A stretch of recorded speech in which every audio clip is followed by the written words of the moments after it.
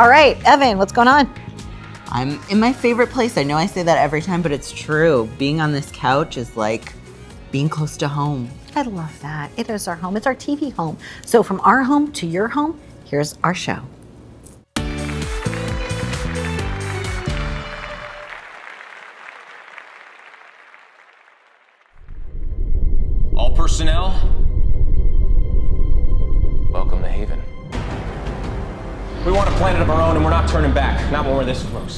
Where am I going? Limitless resource and power. We can't let the Coalition find it.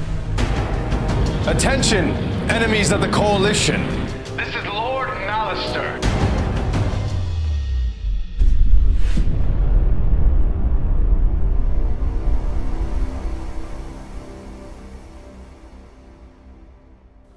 Hey guys, this is Jessie B. Evans. We're live at the Asylum filming Crisis Earth. You're watching The Donna Drake Show.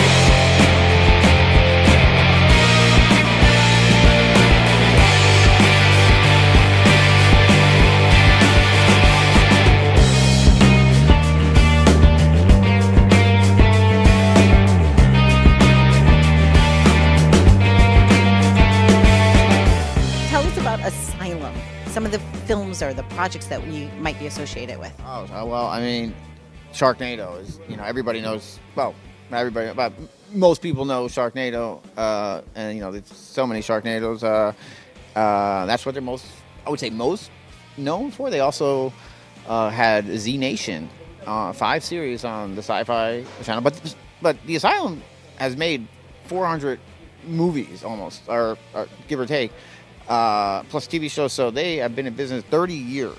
Wow. I did see on the Wikipedia page, I was looking at it, and you forget like all the different things. It's like one after another. It's like, you know, my first real movie that I ever did as an actor was Way of the Vampire in 2003, and I was uh, with, and that was an asylum movie. Okay. So that got yeah, that, that I got I've got a little bit of history here. I was gonna say I still see like the the bite marks, Jared. I'm like, they use real vampires in that movie. Yeah, yeah, yeah. they de- they definitely do. There's a lot of real uh, vampires in uh, Los Angeles um, that will suck your soul, uh, blood, in one way or the other. Uh, but no, the Asylum is a great company. I love the love the guys here. They are they're just they're smart, business savvy, creatives that are very successful. They are very successful. So a lot of times, what they'll do is they'll do a project and they'll go, um, you know, direct to the consumer, or they'll make a project and then maybe they'll put it up on an OTT platform. It's like they have a lot of different distribution for depending on whatever it is their needs are. Yeah, I mean they've got content everywhere. I mean, and there's not. I don't think there's a. There's not many like platforms uh, that you know other than like the ma- like Disney Plus or they're, they're like, but all the like you know Tubi, Pluto, like Roku channel, like they've got their Asylum, YouTube Premium, whatever. Asylum is out there. It's, it's silent. Yeah, yeah, yeah. Just look under the letter A, and, and there you go, right? Yeah, you might not know it, uh, but uh, they're there. We- We are here. We are in Burbank, uh, California, on a TV uh, series shoot called Crisis Earth. Uh, and I will say some of some of my best times with you were uh, where is Lou was with when I was behind the camera and we were doing very cool stuff. And I it popped up on my on my uh, Facebook, like just me with the camera, and we were out in uh, was like St. Louis or Oh my gosh, yes. We had that really wonderful room that was like overlooking the arch and stuff. Yeah. Yeah, you came with me to St. Louis, Jerry. yeah, and we went. Uh, and then we went. We went somewhere else as well. Uh, we went a few places, and we have were been out a on the few island. So places. we we've been, you know, I- it's like it's for me. It's like more about the like with our working with you is like it was. It's it's we have so much like history in terms of of creative collaboration uh, from the show, and and I and I love and I'm so proud of that work uh, of all the events. Aw, and and this was years ago. I mean, this was back in this was 2011, 12, Yeah, a long, long time ago. Even before, it's like I think we're going like probably like 09, 10. Yeah, it was. Yeah, I started the TV show in December of 2008, Yeah, and then uh, yeah, and and it popped up in memory. I was like, I was like, this is like 2010, and and and and, and we're we're we're here and we're interviewing and we're and we're and we're just like grinding. Like I was like, that's the spirit, and, and I love it. So I we all that. start. We all start somewhere, and I'm so proud of you too because the other day I saw that you kind of invented something with your friend. What is that thing? Well, I uh, uh invented. I could use it now. It's like a boom mic that, that adjusts itself, right? Yeah, yeah. I invent- invented a few things with this company. I licensed. This is a uh, Tilta is. Uh, it's a big company, uh, Chinese based in uh, Shenzhen, and they have all, all the, half the film gear on this set is is made by them. Uh, and I uh, invented a couple products and uh, licensed it to them. Some uh, for the uh, sound department, and there's some some new inventions that also are for the camera department. It's ladies and gentlemen, happy birthday! Oh yes, it's my Donna birthday Gray. today. It's my And, birthday. you know, I'm so proud I of wouldn't her. want to be anywhere else but here. And she came out to LA, and here we are on the set. We got the green screen. You have an airplane back here. I mean, Asylum has some really great things, right? Some really great sets. Are they calling you to set? Hi, let me I'm. Donna. Let- let Okay, come just- on over. Come on over here. Hi. donut in my Yeah, with, no, with your donut. With With your donut. with Donna Drake. Hi. How are you? Good. Tell me about your position here and tell me about you. I'm Marcus Freeland. I'm the cinematographer on this show, Lovely. and I'm in charge of lighting and camera. Excellent. And what are you shooting on today? To, uh, camera-wise, we're shooting on two red Geminis. Okay. I'm a Gemini because today's my birthday. So Happy ta-da. birthday! Oh, that's perfect. Look at that. Gemini, Gemini. Um, and how long have you been working together with Jared? Have you worked on other projects together? Oh God, this we've done maybe ten or so by now. Yeah, we've done ton, a ton, a ton of movies. Five or so years uh, in the making. Yeah. and what do you great. like best about your kindred spirits?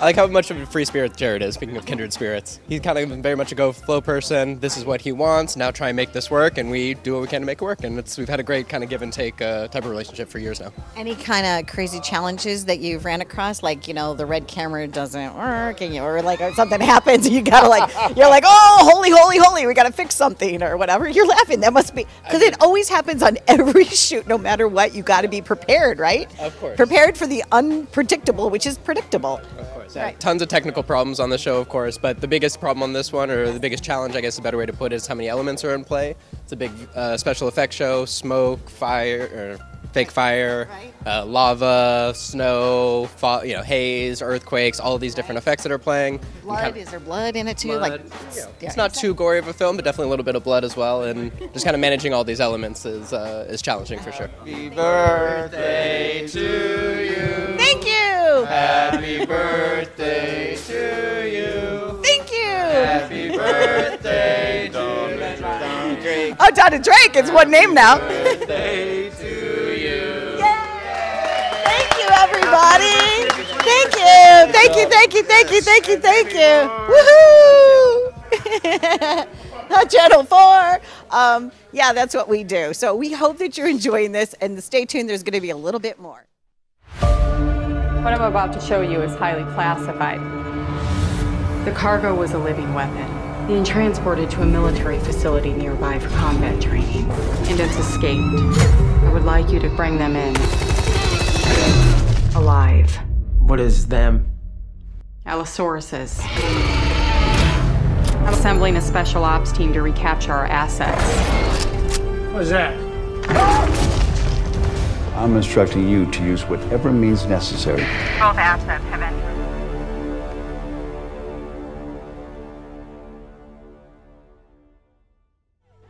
With us now is Tori, and we are literally behind the scenes. Um, and this is a new series, fairly new series, right? Uh, you're just starting to uh, break ground on it. I guess it was like mid May you started? Okay. Wow. So it's intense. You have one of the leads. Tell us about your part, Tori. Well, honestly, I love my part. Um, there are a lot of scientists in this show, but my character is actually very similar to me. She is uh, very into social change and climate change and I really connect with her on that front because she's a college student and she wants an internship and she just wants to make the world a better place. So I felt extremely connected to the character immediately. Now you told me something interesting too. You said you're a fourth generation Angelino. So my great great great grandmother was actually the first non-native born on Catalina Island and then our family has just been in the area ever since, and that was back in the late 1800s. Amazing. Yeah. Now, do you have a street named after you yet, or anything, Tori? Not yet. I mean, there are a few. There are a few Victoria streets. That's my that's my full name. Um, but not yet. We'll go with that, uh, and maybe we'll, we'll just make a street sign for you. There we go. My character is involved in some illegal drilling methods um, to get natural resources from under the crest of the earth and it causes a global climate change. So he is frantically trying to correct his mistake with the team, the other people in the cast, to reverse the climate change. So is it a movie that has hope? Because a lot of Jared's projects that he's directed before are like gloom, doom, scariness. There's like, you know, we're we're at Asylum. You know, we really are. We're, we're back here. There's like sharks, you know, from Sharknado. So does is there hope to your character? There's an extreme amount of hope. Okay. Um, he, we, we try to vindicate him throughout the process, um, so he's not the villain throughout. But the first couple episodes, you're not going to like this guy. Okay. okay. And so it's meant to not like him in the beginning. Oh yeah, you're not going to like him at all. Not all. gonna like him at all. Good No. to know.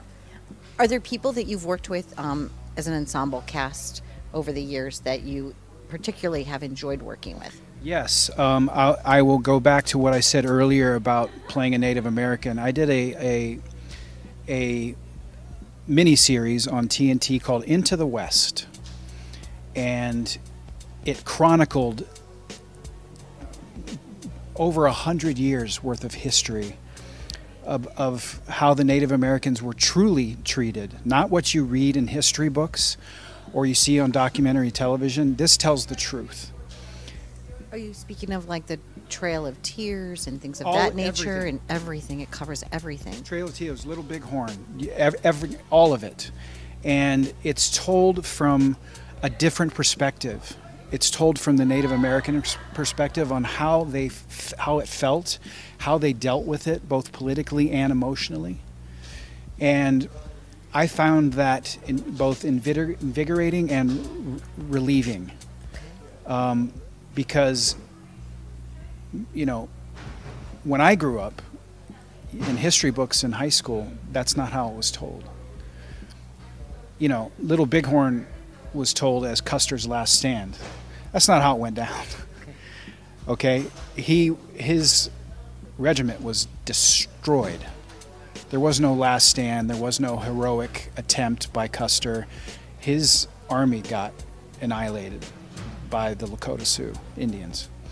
And in that particular miniseries, they told the truth. The, the writers and producers, directors told the truth about how it really went down, and uh, and I enjoyed that. So welcome to the show. Here we are. We are like in like the green room, makeup room, food area, craft services. It's all good.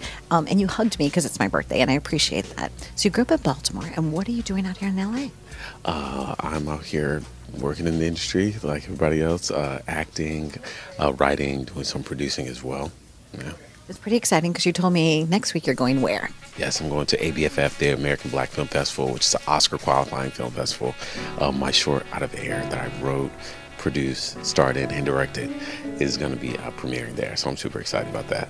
Last night, I was at the Brandon Tartikoff Awards at the Beverly Wilshire, and they were talking about that. They were talking about the diversity, the inclusion, so many things that are happening. So, congratulations for that. What was that project? Tell us about that. Thank you. It's uh, called Out of Air. It's set 100 years into the future where air is commodified, sort of like how water and Bottled water, Yeah. natural resources are commodified, and there's a family that's about to run out of uh, air, and so the son is racing against the clock to to get some necessities that's le- needed to save his family's life. So it's like a grounded sci-fi. It's super dope. How do the um, teachers and the kids that you grew up with um, feel about the success that you've already had so far? I, I feel like I mean, they're super happy for me, um, but I don't think it was unexpected. I've always been like, I remember when I was a little kid, I used to uh, like write poems, and then I would perform them in my living room. But I'd like, I'd charge my family a dollar to attend. Um, so like, I think it was always expected that I would enter into the industry um, in- some capacity. So I think they're really happy for me, but not too surprised. With us now is uh, Tola, and we are behind the scenes, so that's why I'm kind of using my inside voice. Um, so, Tola, what character do you play on this? Sure. So I play the character of Yolanda, um, and she's uh, one of the React team members. Uh, and she works usually just in the command center, kind of making sure everything goes smoothly, doing lots of calculations, you know, keeping the team in order. you have beautiful bone structure. Like I could tell the camera loves you. So you grew up in New Jersey. You went to grad school. Uh, you were in Los Angeles. No, you were in Vegas, and then you came here. Yes. What was your break? How did you like get a chance to do it? Oh gosh, that's important. It is. Um, oh, well, you know, I've acting has been a passion of mine forever since I was little. Um, so when I graduated college, I knew that I wanted to act like full time and professionally. Moved to New York, and then from New York moved to Vegas, and that's where I went to grad school. And I was doing the grad school thing, busy, three year program, very intense. When I moved to Los Angeles, I was like, okay, this is it. This is my chance. This is my opportunity. So I just started to apply to a bunch of things. Um, I actually got representation right out of grad school, so that was amazing for me. Um, and within actually four months of being here, I booked my very first commercial. Um, yes, What's a commercial for? It was a Rakuten coupon savings commercial. Nice. yes, so that was super fun, um, and that got to run a couple years uh, nationally. So that was really cool. Gave you a little bit of money in the bank so that you could follow your passion, right? Yes. It's so you know what, and that's what it takes. Sometimes people just need that little mm, push. Right. Yes, absolutely. Mm. Yep. Because it's here. Yes. It's here. Exactly. There you go. you gotta survive. That's it. That's 100% right. And um, yeah. this character? What and what are you bringing to it? Oh gosh, great questions. I love that she's so intelligent, um, but her intelligence doesn't boast. It's very, um, it's it's internal, but it emits from her. She always has the information. She's always ready to give it. She knows her stuff like that. Um, so a running joke between the cast members is that uh, Yolanda always has bad bad news. Um, it's. and it's true. Um, it's very technical, but it's always something's wrong. Something's always wrong. Um, I'm usually the bearer of bad news, unfortunately. a little foreshadowing. So, but don't give me any bad news today because today's my birthday. But um, it was so lovely to meet you. Thank you. with us on your birthday. Oh my gosh.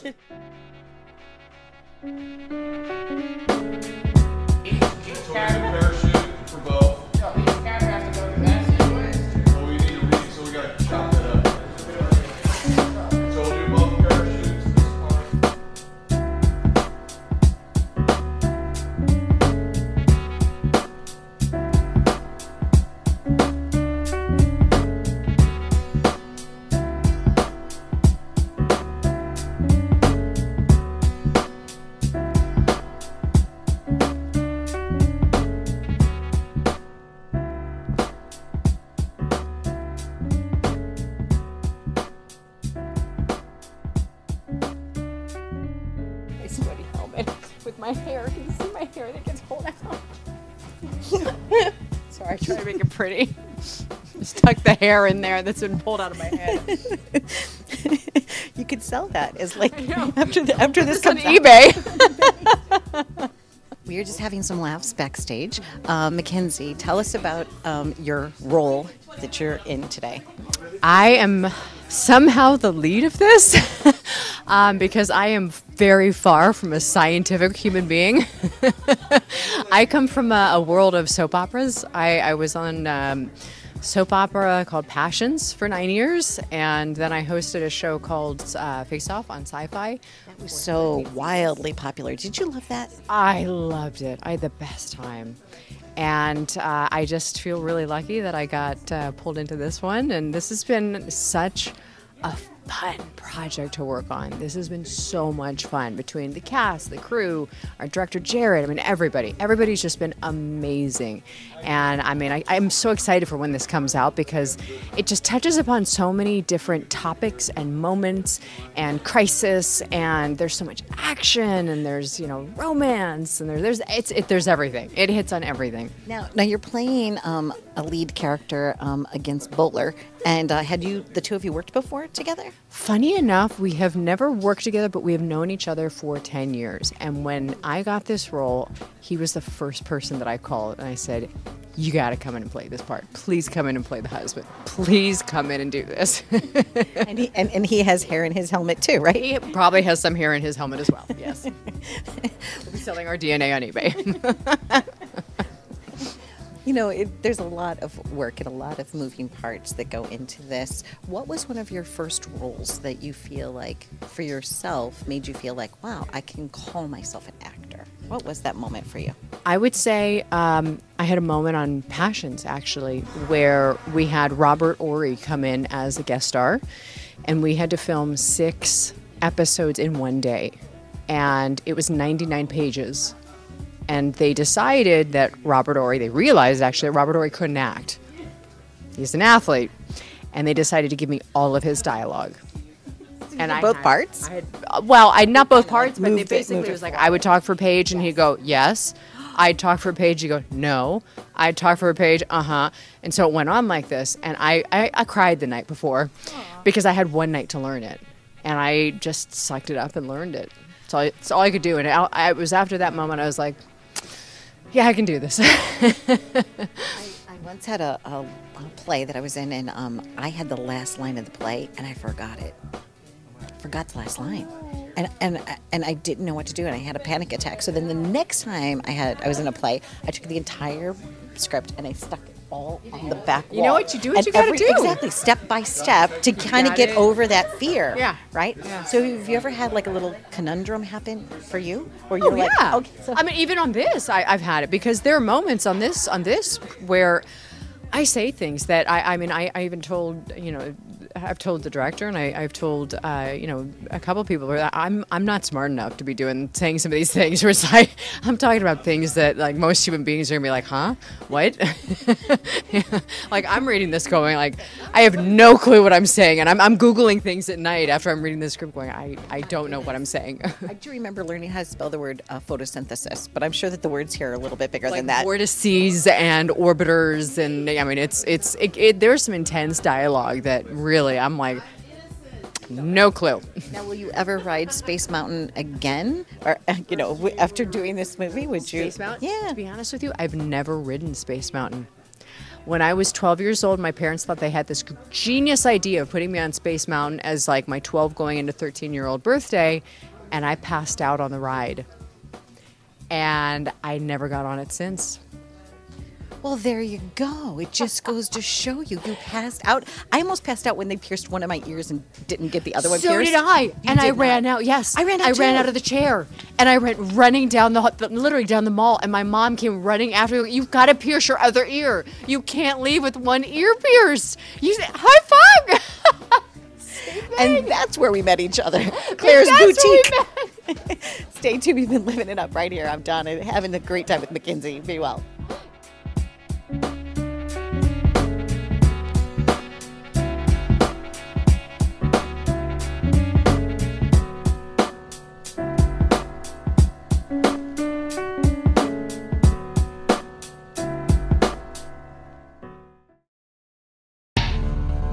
We credible evidence that there's an airliner with an IED outbound of New York today. They must ground that flight immediately. Flight attendants, prepare for takeoff. Maintain altitude below 1,300 feet. Obstacle approaching. We have no choice or we crash. 2191 surpassed 1300. Maintain until further instructions. Where is it? It's detecting signals. We can't land the plane. It's set to explode when you extend the landing gear. We need your help. What's that?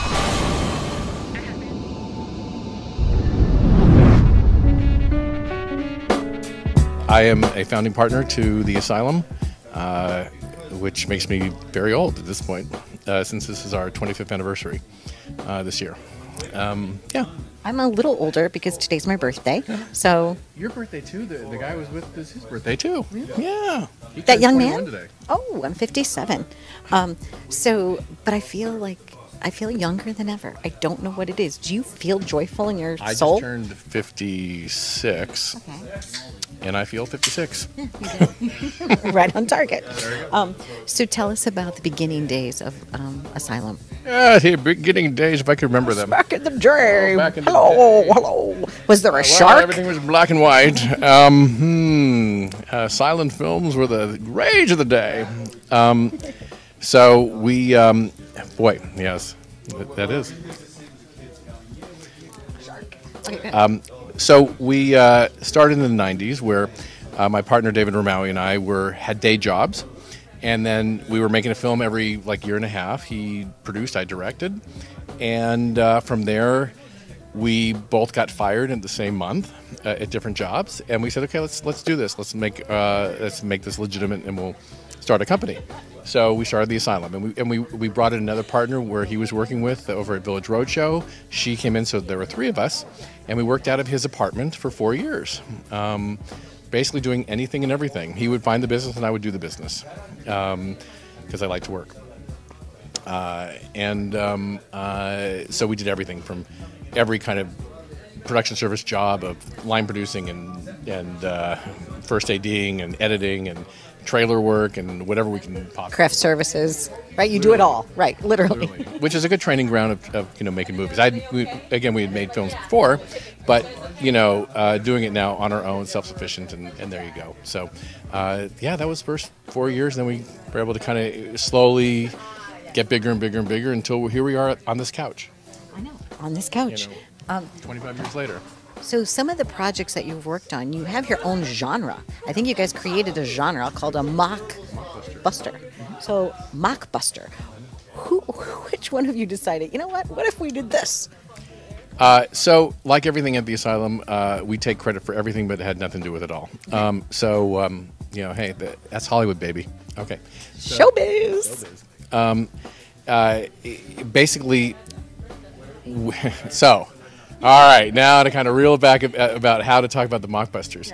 Um, we had a partnership with, um, uh, we had an output deal with Hollywood Video where we were finding them films on a monthly basis for a program we called First Rights. And, and so every month we, we showcase 10 new filmmakers. Okay, we decided to bring that project over to Blockbuster, another video store at the time. Back in the day, children, they had video stores. It was wonderful, glorious times.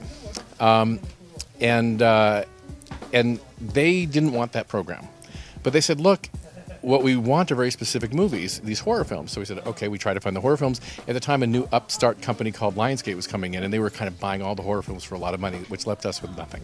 So we're like, "Look, we could make these movies um, for a certain price."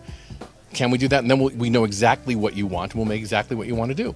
And they said, yes, that's perfect. So we started making a film every month for Blockbuster.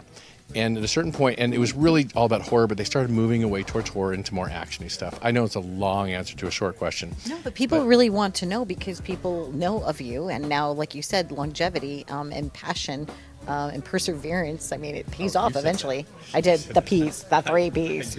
no, passion and perseverance. So, uh, so basically, from from that point forward, wait, you guys keep going. yeah, that's right. You know, we're blocking it in. Um, so, so what happened was is that, is that I had written a script, War of the Worlds, and um, uh, based on H.G. Wells' War of the Worlds, and and I really wanted to make it, Just, you know, and, and, and Blockbuster was, was writing checks and saying, here, make we want content, we want things put on the shelves, and this was in January of 2005, and um, maybe 2004.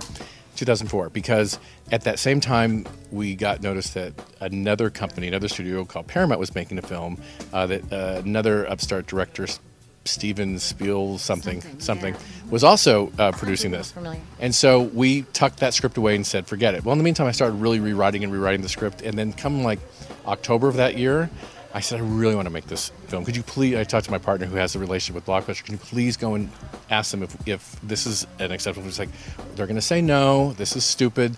Blockbuster, you know, uh, Blockbuster's not going to be, you know, have a war with with Paramount. It's not going to ever happen. But we did it, and they went. Not only did they say, absolutely, this is exactly what we want because it's a public domain title, we could do this, but we will protect you when Paramount comes a knocking.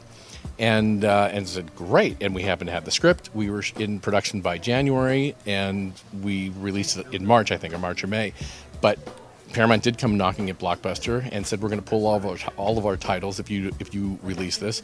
And the head of Blockbuster said, "Fine, we don't care."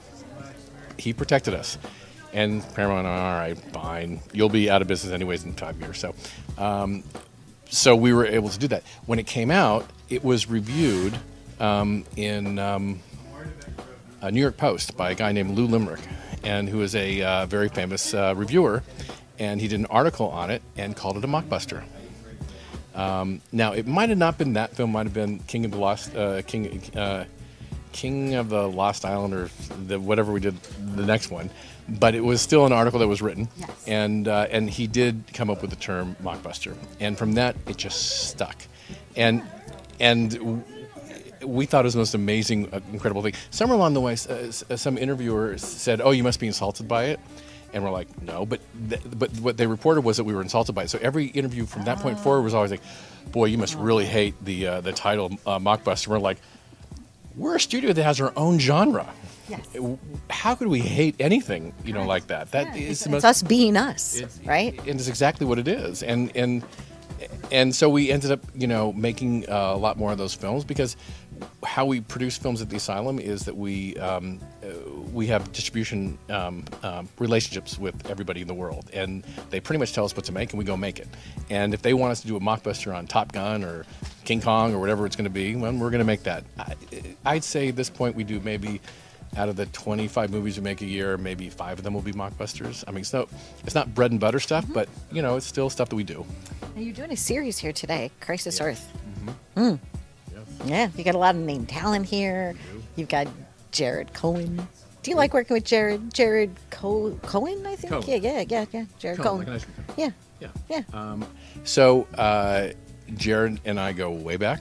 Um, and the short answer is, of course, we love Jared, and um, and it's he's a really unique individual because he's so casual about things, and he's so not distracted, but just kind of has this chill attitude towards towards him directing and whatnot. And and so you know, as a producer, you're looking and go, this is not going to work. I don't understand. I don't get How are the how- actors going to do what? how is this do, you know right? this is you know because you're used to a director being much more angry and aggressive and, and out there and and and dominating uh, but he's just chill and whatever that magic is it's magic because every one of his films that he's done for us um, in front of the camera behind the camera have always done well Um, so we're here really at the asylum. I mean, this is the asylum. How do I look? Do I look good at the asylum? Can I come back? sure you can come back to the asylum absolutely um, uh, it, it's uh, i'm not coming back but you can come back You have an Uh, air. You have a, an airplane back there. You have a dinosaur. You have sharks. What do, What's your favorite like piece back there? Well, things that haven't been built yet. We're gonna we're gonna be built. Uh, you know, we got a space that we could be flexible in. We could build things. I don't know if you saw the the mission control room. Um, so we in like every one of our shows now has a mission control room. They're always like you know discovering things on screen and whatnot. So now we have one permanent, and it's going to be great. And we're we're really happy about that. The next thing is probably in this hallway we're going to build. Um, a hospital um, hallway with rooms that, uh, for our yes, and a police interrogation room.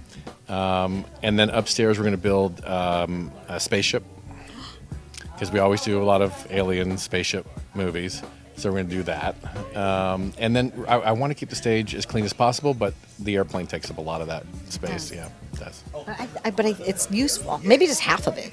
Oh, the, the, the you know, we bought the plane almost 10 years ago because we do a lot of, you know, they have to get from point A to point B somehow. So, so the plane's been in a lot of movies um, and will continue to be in a lot of films. It's just one of those things of, you know, when, when you're making films on a budget and you just look at it and go, okay, I could rent a plane for 3000 to 6000 a day.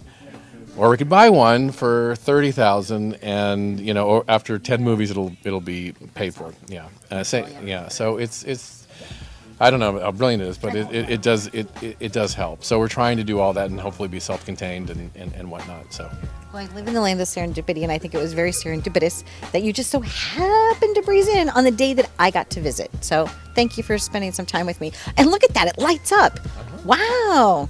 They've got great stuff here. Stay tuned.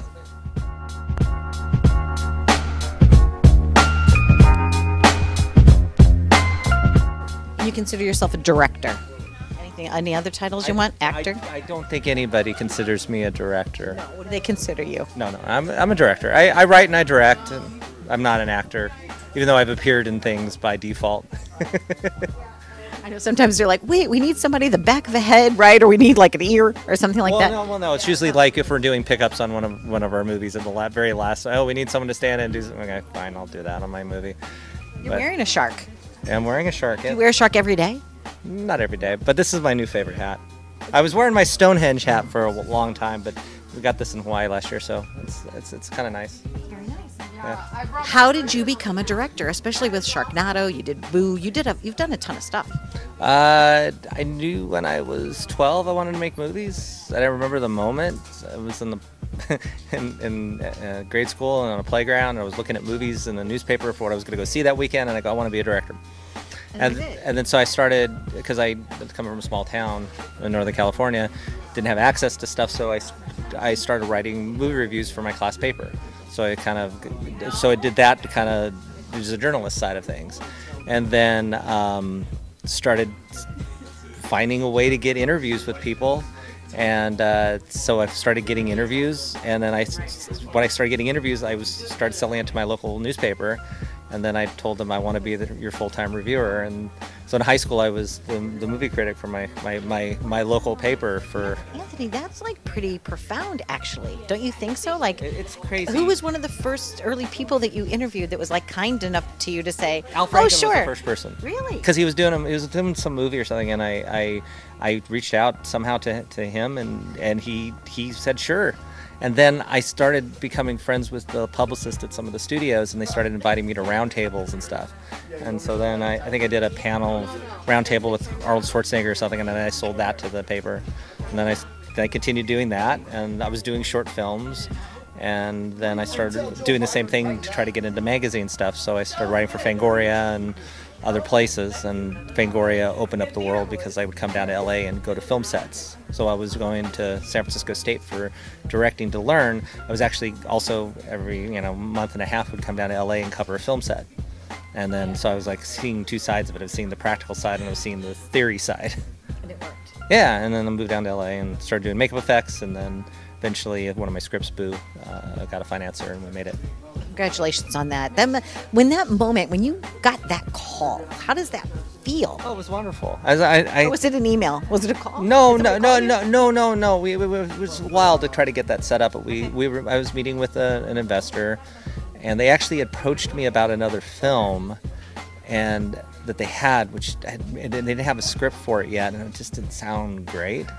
And I go, well, uh, if that's not, if we're gonna do both of these back to back, why don't we do Boo? And they go, you can't do Boo for for the money that they wanted to spend. And I go, yeah, I can.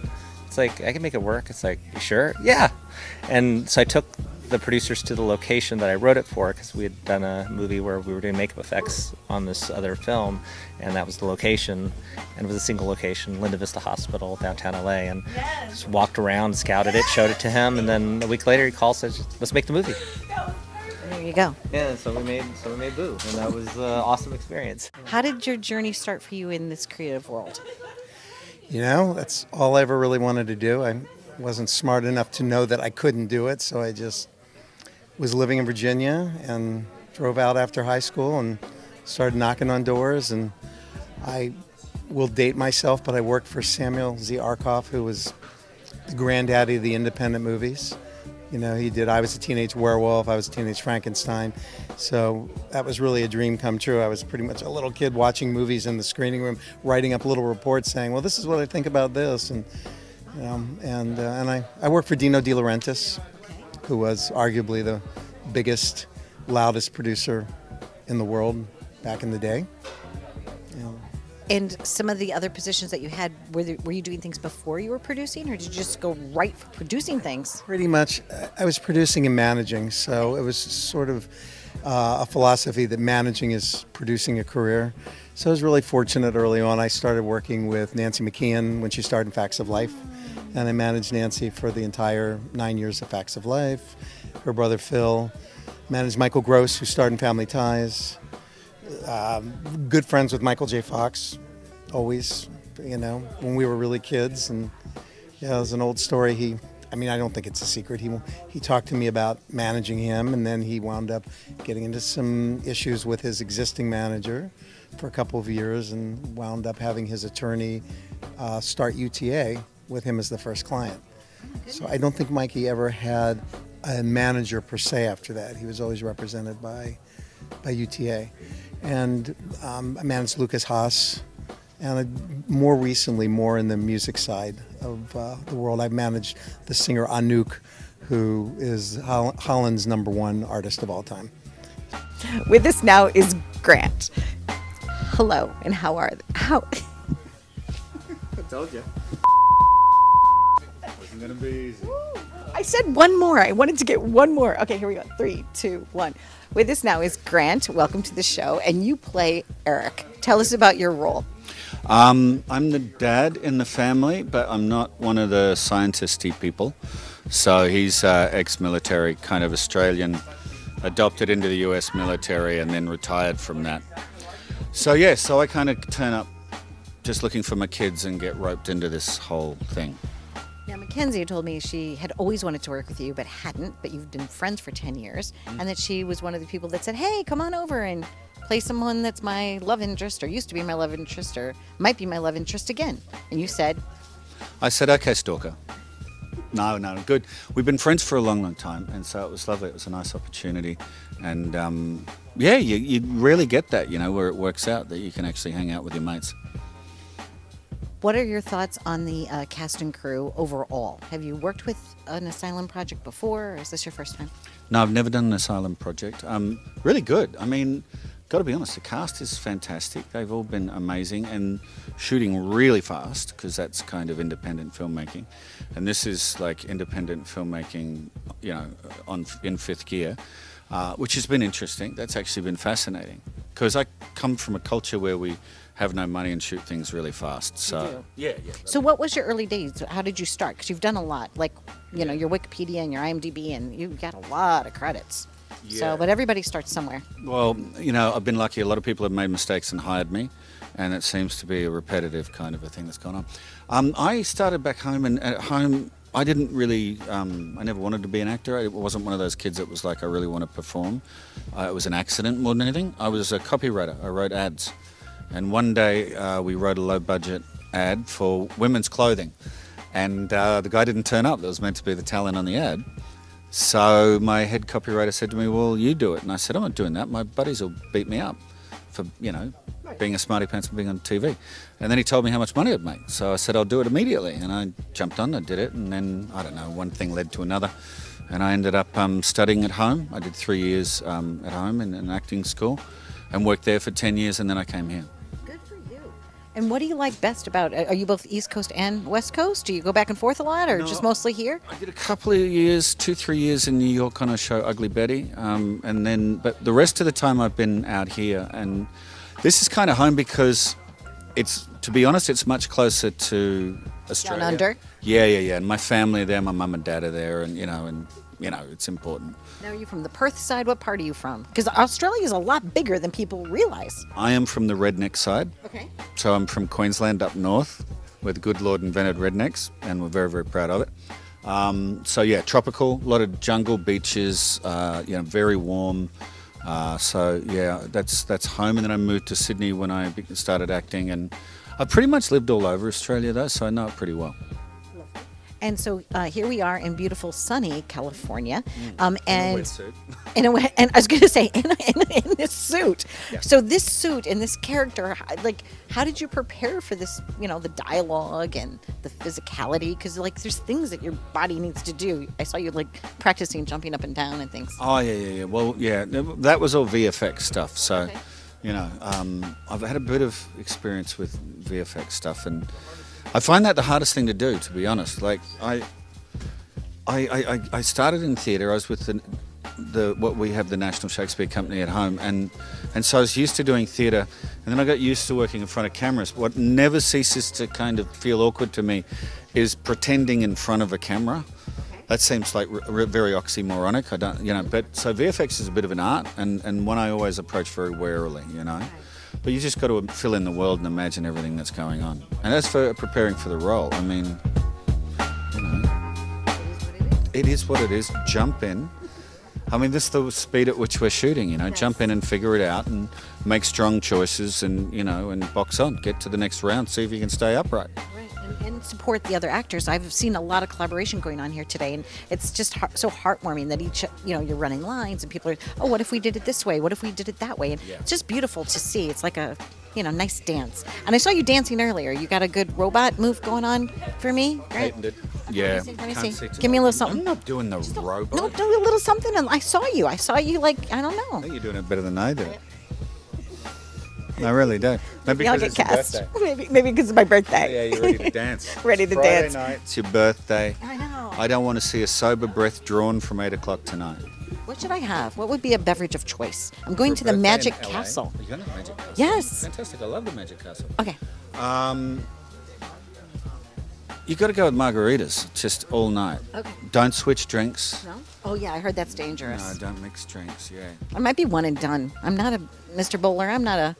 You're no, a- no. you're a lightweight? I'm kind of yeah. There's only five foot one of me. I wear heels a lot because it makes me feel taller. But Never so come I- to Australia. okay. That's all I'm going to say. Still the only country you need a felony to get a passport in, so never come to us. I'm gonna go to Oz just to see the um, kangaroos and maybe Oh, have yeah. a Vegemite sandwich. Oh, and maybe if I was gonna have an adult beverage in Australia, what is it? What- It'd what- drive you insane, Yeah. um, but you got to go rum, rum and coke, Rum. or any rum-based drink because we make very, very, very strong rum. And 200 years ago, for a period of time, rum was the official currency of Australia. And on that history lesson, we bid you adieu. Thank you. Bye.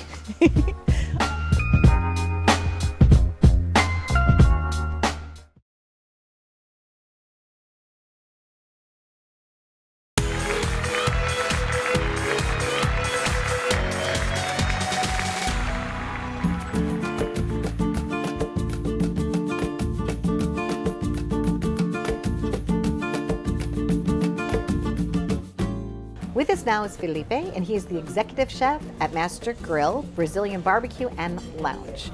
Welcome to the show. How are you tonight? Good. How are you? Very Nice well. So, obviously, we are in front of a feast. So, every night there's a feast at Master Grill. Mhm. Uh, what type of concept is this? What do people dine on here? This is a Brazilian concept. This is a long time ago, maybe 300, and está in South America. And now introducing America, a long time ago, maybe 20 years, 25 years. No, is a cooking the meat in the charcoal, high temperature, a, a grape meat, very great meat, and he offer more the marketable salad bar. You have grilled vegetables, uh, grilled zucchini, salmon, cocktail shrimp, smoked salmon, everything. Beautiful cheeses. Cheese, I, I love cheese. I mean, I love meat too, but I mm-hmm. also love cheese. What made you decide to become a chef? How old were you when you were decided this is what you wanted to do? I started 13 old. 13 years old. Yeah. Wow. Okay. It's a long time ago in Brazil. In Brazil. Yeah. And what was your first job like? It's a, it's a old Brazilian churrascaria, no hot cellar. You need to make everything in the hands, move around, not the hands. It's a very, very crazy job it is. And I work at the- the back house, from the house. Uh, after, long time after I go to Europa, Okay. Spain, Portugal, France. I work over there. We decided to come in United States. And how long have you been at the United States? 25 years. 25 years. And you've been working with the same restaurant family for a while. Oh, yeah. And so obviously they Long must be doing something right and you must be doing something right. You're Yeah. part of the team. Mhm. When they decided to open this restaurant, what were you most excited about? The challenge, Okay. the train, they give you everything the customer looking for. Okay. Food, server, and uh, just uh, uh, fair price. No, uh, you don't find anywhere. You're right. it's- the prices are good. Yeah. The food's delicious. The service is Yeah. excellent. Um, and because it's also a lounge, you have fancy drinks, Yeah. right? So you could come here and you could have a nice cocktail. Nice, nice cocktail, a nice Brazilian cocktails. night, yeah, right? date nice date night. Yeah. Families are also welcome here. Yes, you have the Brazilian cocktail called caipirinha. It's fresh, nice, it's good. You eating, you can drink before you eating. It's open appetite. for- Okay. it's Oh, nice. so it makes you want to enjoy it. Yeah, like enjoy kind of clears your palate a little yeah, bit. palate. Now, tomahawk steak. What makes this a tomahawk steak so delicious? Is that uh, cooking the grill, and it's 32 ounce for two people. Some people decide no take the, the full rodízio. Yeah, yes. you can take it next time. Okay. for eating everything. Take a little home. Yeah, I and use you have oysters, right? oysters, yeah, a little bit garlic sauce, cocktail shrimp, and ribeye, uh, lamb chop, filet mignon, all can eat. You, When you uh, finish at the end of the day, right? What do you like to eat when they, when you get to eat something? What's your favorite on the menu? uh, I like eating ribeye. You like the ribeye? Yeah. Because I, I know that you were just slicing some ribeye for me, and you also what is this one called? Picanha. Picanha. Picanha. This is the special Brazilian cut. Is a is at the top, the top sirloin, the top the top sirloin. Is a long, the first time I come in America, it don't have this cut. oh, so you brought it here. Yeah, no- everybody now uh, have for sale.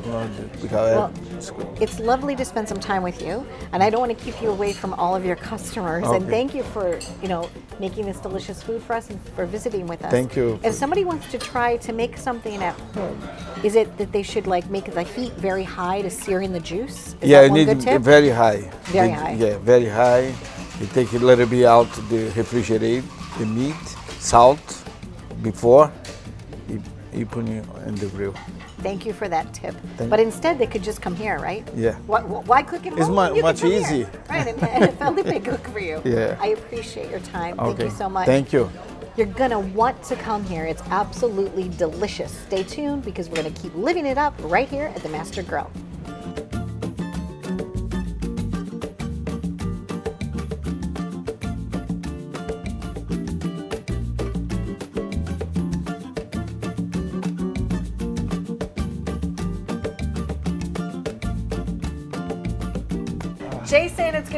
Again. How are Hi, you? hi, how are you? Excellent. So we're here at the Master Grill. Welcome. Um, and when did you open? Uh, we open on January 26th this year. Congratulations. Thank you very much. Congratulations. Yeah. So tell us about your beautiful restaurant. Uh, this restaurant we spent about uh, one year to make a new restoration.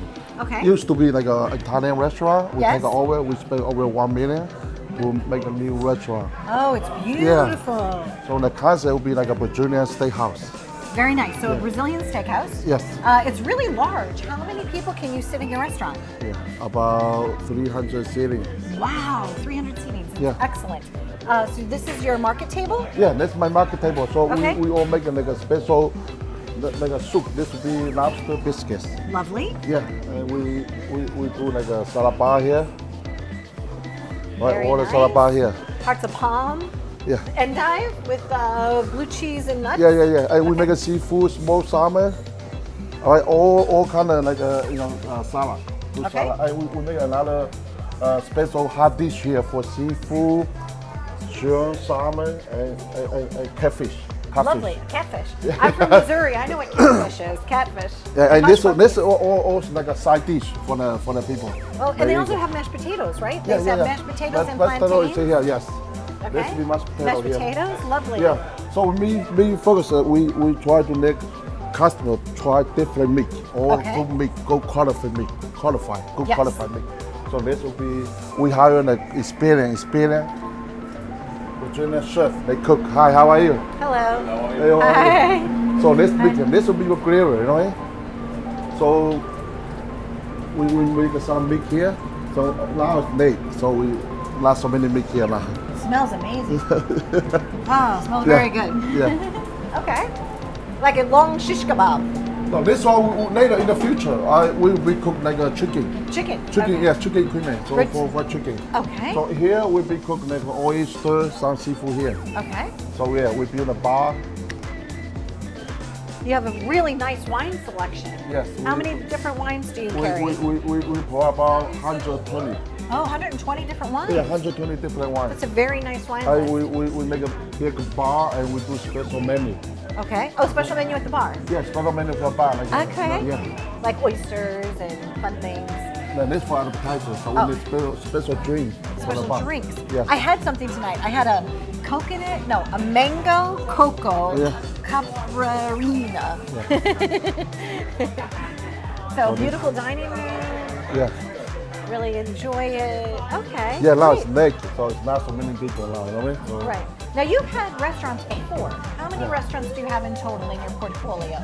We, we since the per year we open over about 10, one, two, three, about 12 restaurants. 12? Yeah, 12? but right now, yeah. Right now we own we own still own about a couple of restaurants. Enjoy- I'm glad for you. That's Yeah. good. So you own this restaurant. You also own restaurants near Queens, right? Now we have a restaurant in uh, Navitown and we own a restaurant in North Babylon. In North Babylon. And we own a restaurant in Wilmington too. Excellent. Yeah. So what is your favorite thing on your menu that you enjoy eating, Jason? I think the meat and seafood. And, well, we do special like a graver oyster. Yes, That's the oysters are your favorite? Yeah, and that's one. That's Yeah. why I put. Normally in a regular Brazilian restaurant they don't provide You're right, they don't. It's all meat. but we do special, so we, we will provide like an oyster, the grilled fresh oyster. Okay, and we, we like the meat. We, we, we provide like a picanha, good meat, good high class, and we do lamb chop, lamb chop. Yeah, the lamb chops are delicious. Yeah. Yeah, the lamb chops are So so, if the good. customer needs to come here and they pay one price, Right? they can enjoy about over 15 different kind of meat. Okay, so 15 different kinds of meats, Yeah. some seafood, Yes. great wine, specialty cocktails, And yeah. great and- music. Yeah. Do you dance? Yeah. And also Wait, we, we Jason, are you three- dance? Yeah. We are three in one space, you know eh? Right, so you have extra space that you can have like a corporate meeting, right? Okay, so let me see your dance moves. Do you like dance? this, yeah. Yeah. And also, also on the, on, on, after the July 4, right, after July 4, Yes. we, we will be planning to open like a lounge. A lunch. Yeah, A lunch. After July 4, now every weekend, Friday, Saturday, uh, it will start uh, 11 to 2 o'clock. Great. We'll be open here for lunch. Wonderful. Well, And we do live live congratulations. music and good drink, and we hire uh, special bartender here to make a special drink. Lovely. Yeah. Well, thank you so much for inviting us to your Master Grill. We had a great time. Thank you very much. Uh, we highly suggest that you join us next time, and thanks for watching. Thank you.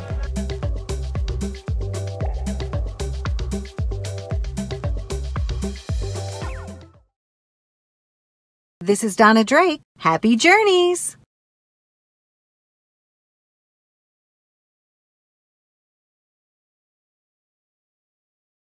Take my hand, come with me, and we'll find better ways to be something much more. Live it up, live it up, live it up now. Live it